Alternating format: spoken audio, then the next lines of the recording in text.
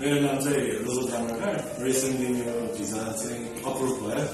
अनि पछि अब प्रोफेसनलकै बारेमा भन्ने भए चाहिँ प्रोफेसनल मैले फर्स्टमा चाहिँ अरू कन्सल्टेन्सीमै चुज गरेको थिएँ पढ्ने भनेर त्यही भएर एप्लाई गर्ने भनेर मेरो साथीहरूले चाहिँ होइन प्रोफेसनल प्रोफेसनलको अब स्टाफ मेम्बरहरू सबै फ्रेन्ड्स छन् यताउता राम्रो राम्रो छ भनेर मलाई बोलाएको थियो। अनि पछि अनि डिसिजन लिँदाखेरि चाहिँ मैले आएरै डिस गर्ने भनेर डिसिजन लिएँ अनि गर्दा गर्दै गर्दा गर्दै सबैसँगै अब म्याक्सिमम् मेम्बरहरूसँगै स्टाफ मेम्बरहरूसँगै अलिक कनेक्सन भयो।